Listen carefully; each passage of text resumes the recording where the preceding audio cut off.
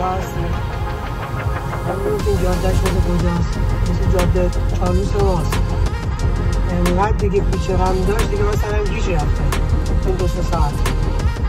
این فقط چه خوشگلی داره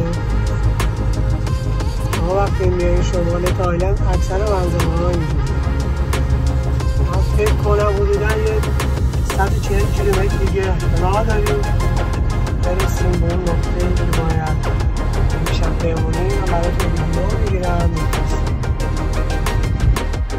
ما تو مسیر بودیم گفتیم نگه داریم. به مزرعه فرنگی اینجا. لب خیابون میفروشن. شمال اکثرا میری. از این مزرعه زیاد هستش. لب خیابون که فرنگی ها رو می‌زنن به قیمت خیلی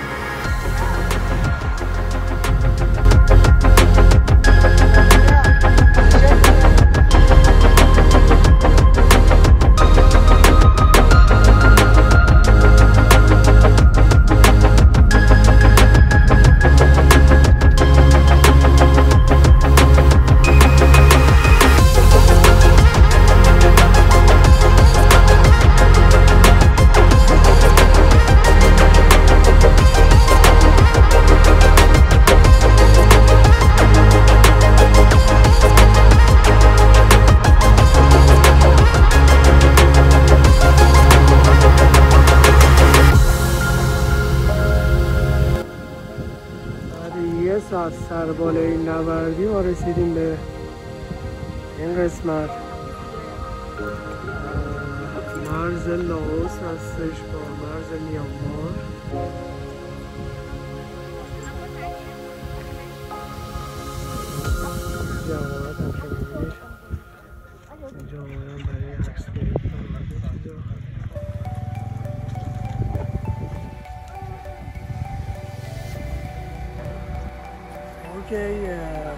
ما حدودا یه, ساعت یه ساعت و نیم ما یالا سرباله نوردی کردیم.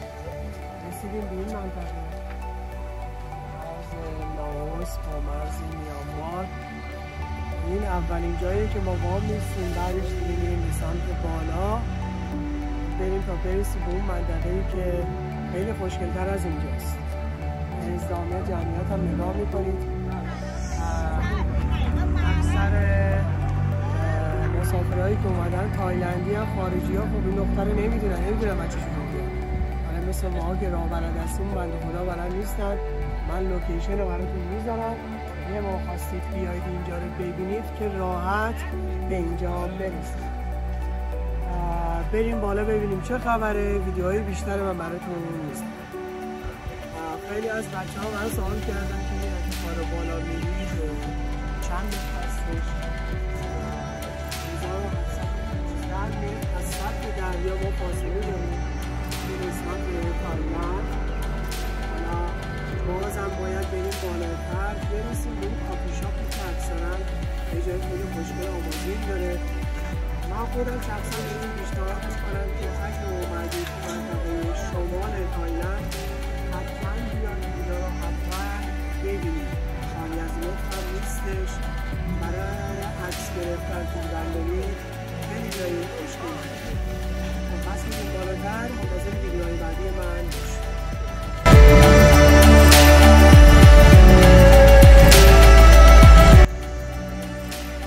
خب اومدیم رسیدیم به اینجا. این بالا مالا ها که اومدیم دقیقا مثل یه علاقات زادگاه من شهر ماسال هستش. دقیقا ماسال مثل اینجاست. و کسری نداره. فقط یه خورده لحاظ امکانات ماسال کمتر از اینجاست. اونم دست مسئولینی میبوسه.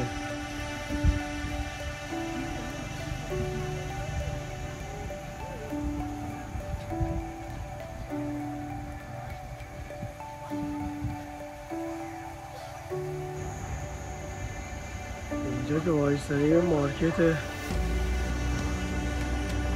ماشین اینجا وایستادن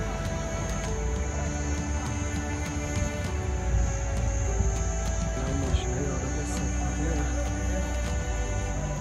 جون میره فقط این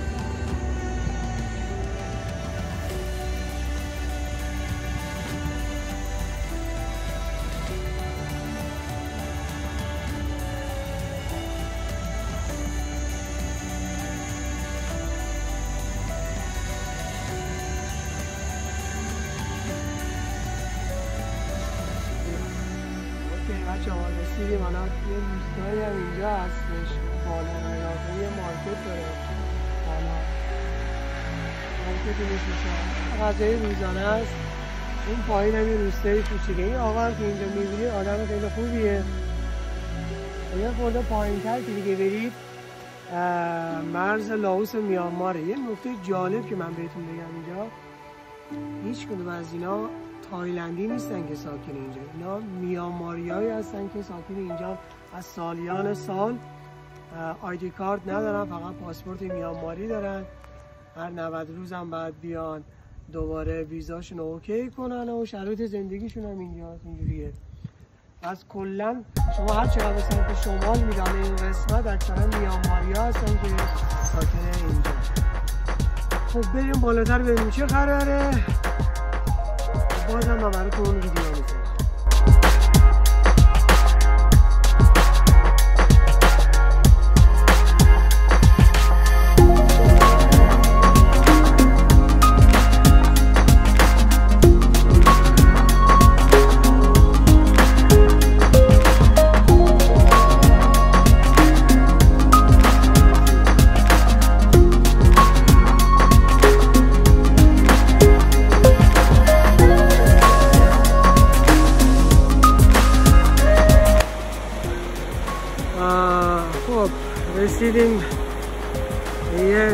استراحتگاه دیگه.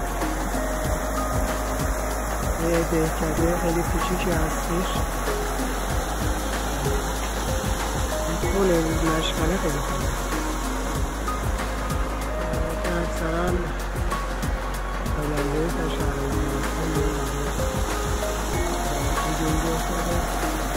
اینجا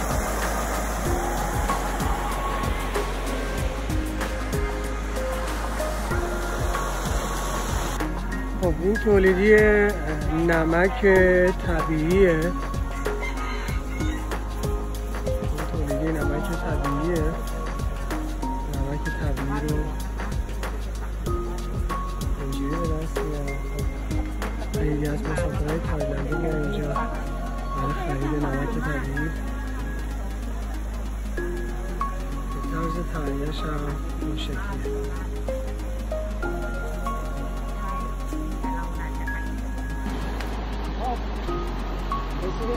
دهکده این دهکده اکثرا محصولی که داره این نمک طبیعی هست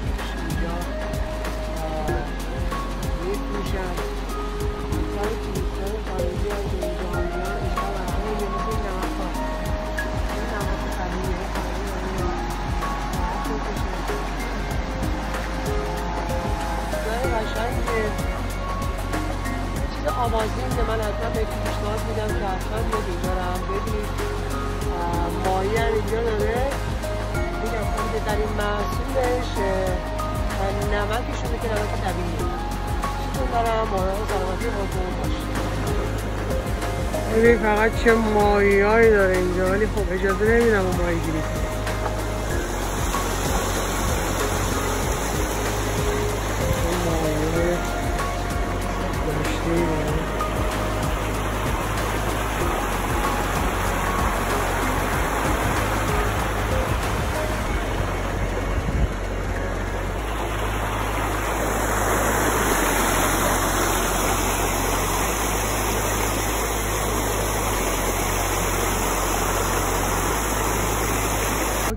کلی حالا سربالایی رفتن و دنده کشیدن رسیدیم اینجا.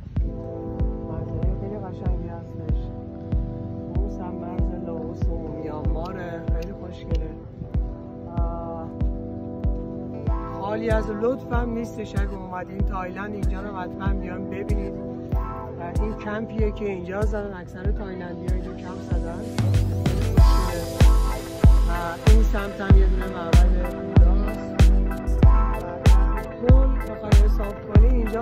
خوشگله بعد از فاز فاتحه ها و نمی‌دونم خودت تو با در بیاید تایلند این ستا شهر نیست بازم بهتون میگم. انقدر جایی خوشگل داره که شما برید این یه هفته دو هفته ای که میای سفر می‌کنید بامزم کم میاد کل تایلند رو بگردید و جالب است اینجا شب کلبایی داره که می‌تونی شب اینجا بمونید بازم براتون از اینجا ویدیو میفرستم.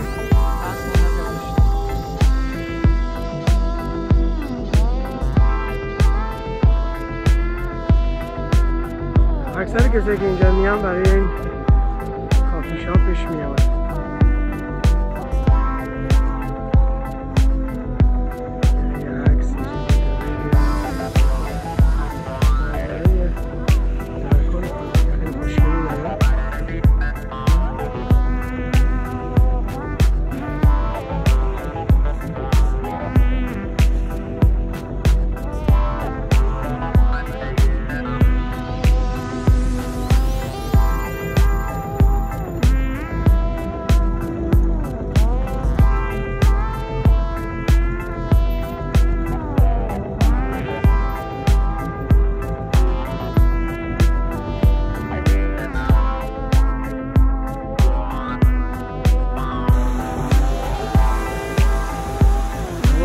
هفت ساعت رانندگی. رسیدیم اینجا. یه ساعت دیگه مونده و بریم بالاتر.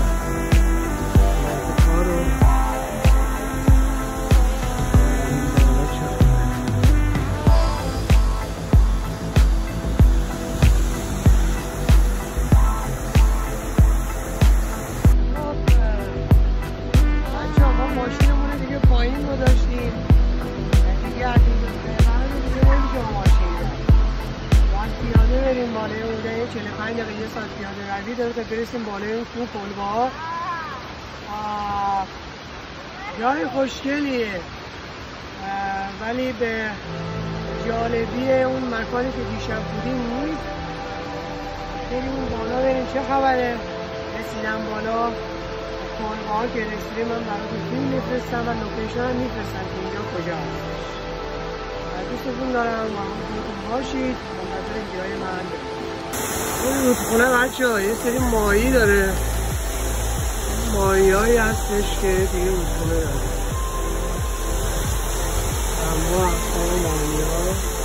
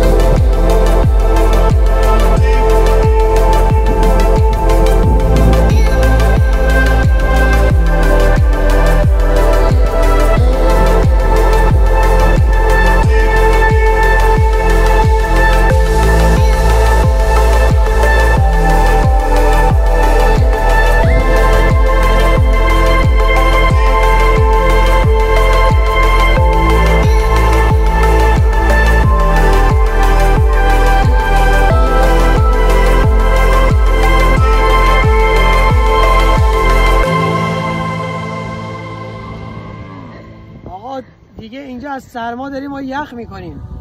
بعد یه ساعت پیاده روی ما رسیدیم این کلبه کلبه ها رو ببینید گاوا هستن دیگه. به جز گاوا دیگه چیز دیگه اینجا نیستش. ما امشبر اینجا هستیم. فردا صبح حرکت می‌کنه اشتای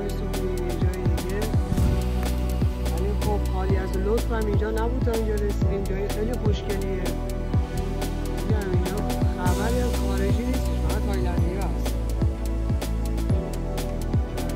شب هم خالی سروسات پارکی رو پاک کردیم با بچه ها ویدیوش براتون میفرستم.